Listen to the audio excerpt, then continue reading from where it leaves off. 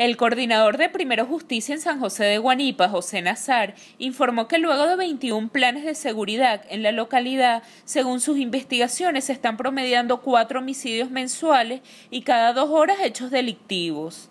Este mes de mayo cerró con cuatro homicidios, cuatro muertes violentas. La primera semana del mes hubo dos homicidios en los cuadrantes correspondientes al número 2 y al número 5. La semana del 15 al 20 hubo otro muerte, otro muerto correspondiente al cuadrante número 6 y la última semana un joven de apenas 20 años de edad en el cuadrante número 4 acompañado de su novia llegó un carro y le dieron vilmente varios tiros. Esto nos convierte en uno de los, de los municipios más violentos y más peligroso de todo el estado.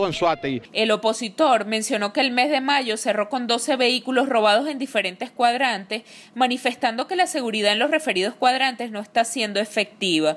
Muchas familias se han mudado a otros municipios por la inseguridad.